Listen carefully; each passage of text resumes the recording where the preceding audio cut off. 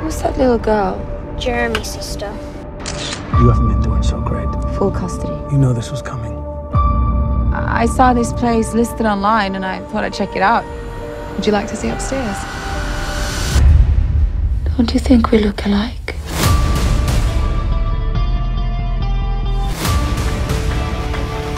I had a little girl once, a little baby. She was in an accident. Every time I see Lola, I'm more convinced. Convinced of what? She's my daughter. That's crazy. She is stalking our family.